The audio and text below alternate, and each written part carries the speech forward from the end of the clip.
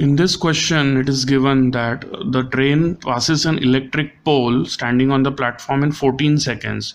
That means the time required uh, this 14 seconds is basically for the entire length of the train to pass the pole. The length of the pole or the width of the pole is insignificant. It's the length of the train that matters here.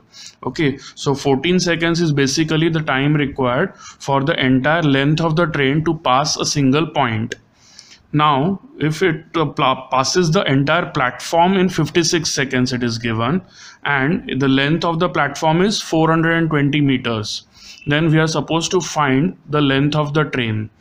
Now when the train passes the platform what happens is basically the length of the platform as well as the length of the train is crossed is covered in the time of 56 seconds right now the train's length itself takes about 14 seconds.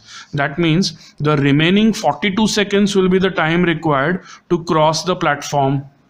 Correct? 56 minus 14 gives us 42 seconds, which will be the time required to cross only the length of the platform.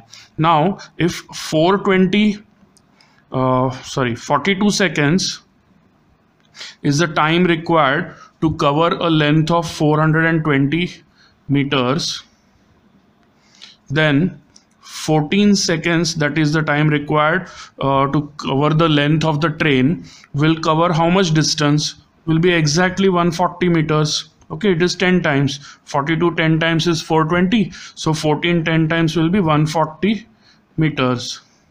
This will be the length of uh, the train. Okay so this is a logic required to be applied in this question